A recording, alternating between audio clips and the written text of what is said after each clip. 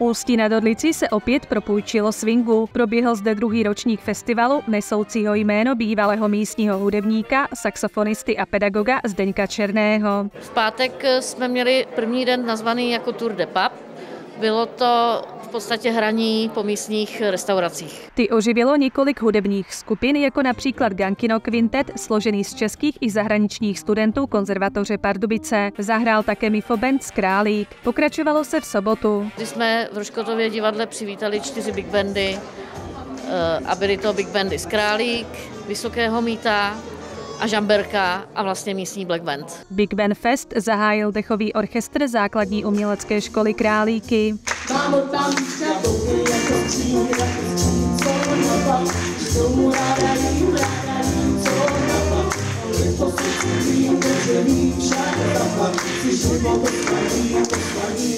Bylo to tady úžasný. Eh, s Lindou se známe od malička v podstatě, eh, jsme kolegové z různých big bandů a jsem strašně rád, že nás sem pozvala. Ze základní umělecké školy Vysoké míto dorazil soubor Little Band. Sebou přivezl hudební mix. Bylo tam něco ze swingu, něco z latiny, něco vlastně teďka populárních věcí jako Bruno Mars a podobně, takže se snažím pořád, aby to bylo pestrý a každý posluchač si z toho vybral to svoje, co se mu líbí.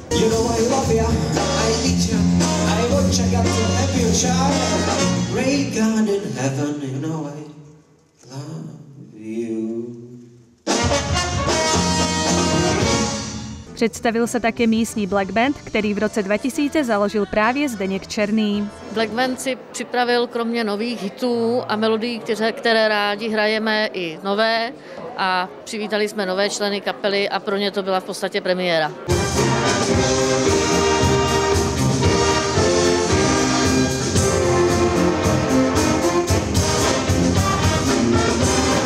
Festival se i letos konal pod hlavičkou místní základní umělecké školy Jaroslava Kociana. Si myslím, že se festivalu daří, protože je otevřený vlastně pro širokou veřejnost eh, a je tvořený, jak to Linda vždycky říká, pro lidi.